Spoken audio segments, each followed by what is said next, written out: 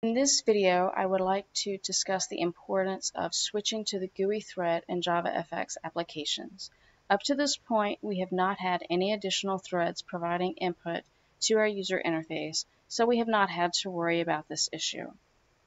Today I'm going to use a simple example of a thread providing a timestamp that we would like to display on a text field on our user interface. So I have skipped ahead here and have created the code necessary to execute our thread. If you're not familiar with threading, don't worry about this too much.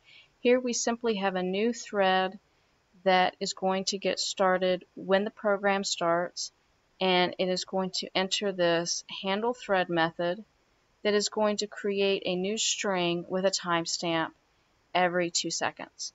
And what we would like to do is display this on our text field in our user interface and you might think to do that would be to set the two-way input to our date string. And this will work. As you see, the date time is actually getting updated just as you would expect. However, look what is happening down here below in my exception handle list. This is occurring because we did not first switch to the GUI thread before we set that string property. So let me show you how to avoid this situation. What you might not have noticed before I exited the application is that when that exception occurs, it actually freezes the user interface and makes it no longer usable. So this is a very, very bad situation that you really do not want to occur.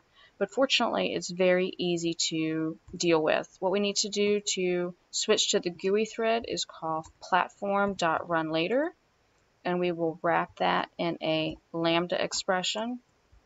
And all you have to do is make sure to update any user input uh, or user interface values inside of this platform run later uh, code block here. And now when you run this, everything will be um, just fine.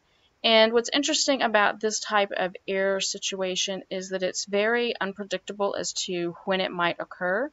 Uh, we were fortunate in the previous example that it occurred uh, fairly quickly upon startup. But, but these situations uh, are very unpredictable and random as to when the exceptions might occur, and this can be very difficult to track down. So if you see any uh, errors occurring that indicate FX null pointer exceptions or array out of bounds exceptions, the first place to look is always to make sure that your um, appropriately switching to the GUI thread anytime you are updating user interface um, values or data from someplace other than uh, the GUI thread.